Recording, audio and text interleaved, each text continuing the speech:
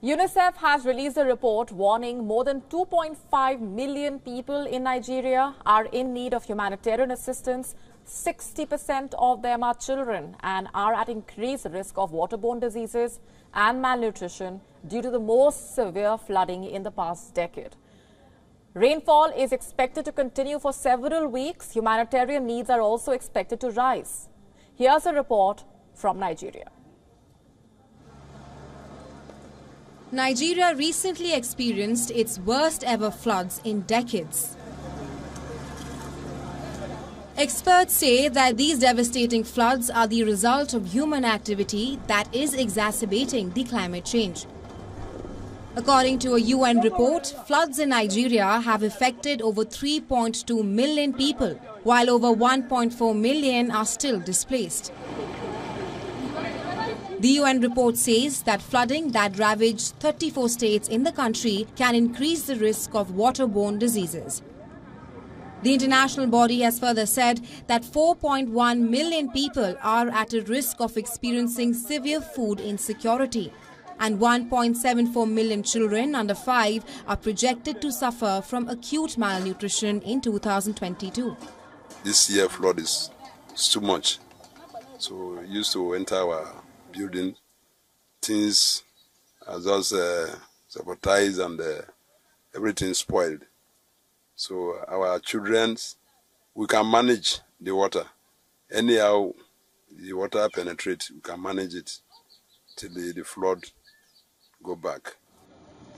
The government officials say that the UN data could be underestimated and the scale of devastation could be even bigger.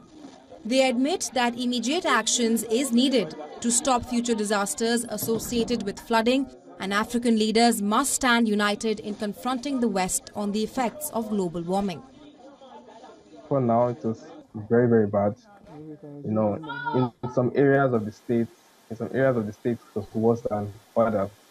You know, in some areas, it was it covered the houses to the top. In some areas, it covered houses to the window level. While some areas are closer to the road, it's just you know what's in the compound and on, on the roadside.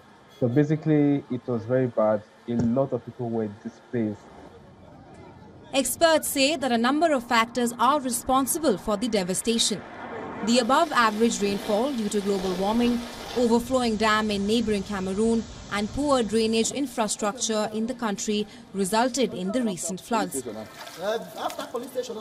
According to the United Nations, seasonal rains and floods are severely impacting countries in the West and Central Africa. Beyond the fact that we have global warming and other challenges, we believe that when the needful is done on the part of the federal government and even some of the state governments, especially in the area of clearing of ch channels, canals, uh, a lot of those water, like I said, will be absorbed and it will create the needed solution to a very large extent the problem. We're in the Khoi Khoi community of Lagos, Nigeria, where some Nigerians are still grappling with the losses that accompanied the flood.